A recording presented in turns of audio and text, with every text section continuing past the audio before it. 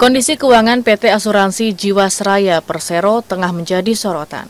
Saat ini perusahaan asuransi ini tengah mengalami gagal bayar polis asuransi kepada para nasabahnya. Komisi 6 DPR RI menganggap anggota Dewan Direksi PT Asuransi Jiwasraya Persero periode 2013-2018 adalah yang paling bertanggung jawab atas permasalahan pemberian polis bank assurance nasabah. Bahwa kalau kami menerima mandat kami akan membersihkan lembaga-lembaga pemerintah, kami akan memperkuat lembaga-lembaga pemerintah, kami akan perbaiki seluruh kehidupan, kualitas hidup seluruh aparat pemerintah, supaya kita akan menghilangkan sekuat tenaga korupsi yang ada di Republik ini. Assalamualaikum warahmatullahi wabarakatuh. Halo, sahabat Enjoy Channel. Korupsi di asuransi Jiwasraya belum kelar Kini muncul lagi skandal 10 triliun di Asabri. Wah wah wah, mau dikemanakan negara ini kalau korupsi menggurita seperti ini? Pantas saja Pak Prabowo kemarin dalam debat Capres 2019 mengatakan bahwa korupsi di Indonesia sudah dalam taraf sangat parah. Saya berpandangan bahwa korupsi di Indonesia sudah dalam taraf yang sangat parah kalau penyakit, saya kira ini sudah stadium 4. Menteri Koordinator Bidang Politik Hukum dan Keamanan Mahfud MD menyatakan skandal di PT Asuransi Sosial Angkatan Pesenjata Republik Indonesia Asabri tidak kalah fantastis dibanding dengan skandal PT Asuransi Jiwasraya Persero dengan kerugian keuangan negara puluhan triliun. Mahfud mendapatkan laporan bahwa dugaan korupsi di Asabri di atas 10 triliun dari yayasan yang dikumpulkan dari para prajurit TNI.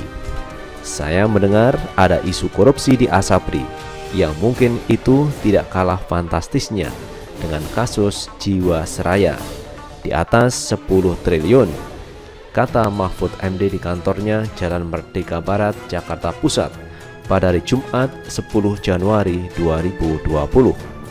Asabri itu punya orang kecil, itu punya prajurit, polisi, tentara yang pensiun-pensiun, yang pangkatnya kecil. Itu kan banyak yang gak punya rumah, gak bisa keluar, sambung Mahfud MD. Mahfud langsung melakukan serangkaian langkah strategis. Salah satunya memanggil beberapa menteri antara lain Erick Thohir dan Sri Mulyani selaku Menteri BUMN dan Menteri Keuangan. Mahfud menegaskan tidak boleh toleran terhadap korupsi. Kita akan segera panggil Bu Sri Mulyani dan Pak Erick Thohir untuk menanyakan duduk masalahnya. Kalau memang ada masalah hukum ya kita kirim ke pengadilan. Tidak boleh korupsi untuk orang-orang prajurit, untuk tentara yang bekerja mati-matian, meninggalkan tempat sesudah masa pensiunnya disengsarakan. Gitu ya dan itu kan hak prajurit.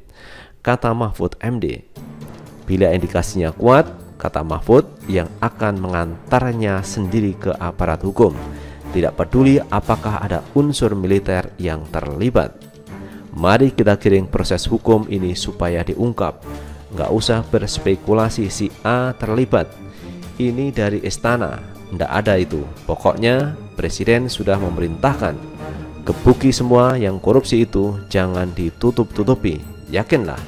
Jadi kalau orang yang selalu curiga ini terlibat, ini terlibat, kasih ke saya. Saya nanti yang antarkan ke KPK atau kejaksaan. Kata Mahfud MD. Usai disebut-sebut adanya potensi korupsi di tubuh PT Asuransi Sosial Angkatan Persenjata Republik Indonesia Persero atau yang disingkat dengan Asabri Menteri Badan Usaha Milik Negara Erick Thohir langsung bergerak cepat. Dia memanggil Direktur Keuangan dan Investasi PT Asabri Persero, Roni Hanityo Aprianto. Pemanggilan ini untuk meminta penjelasan terkait kondisi asuransi plat merah tersebut.